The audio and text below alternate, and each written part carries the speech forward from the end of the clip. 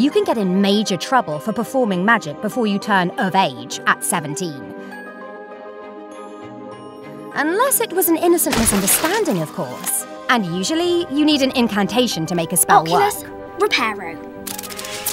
But some older witches and wizards are skilled enough to perform wordless, wandless magic.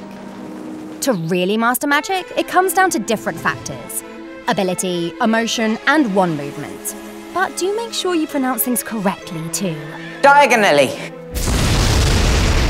What did he say, dear? Diagonally. I thought he did. Magic doesn't have to come from a wand either. It could be from growing a magical plant or brewing a potion.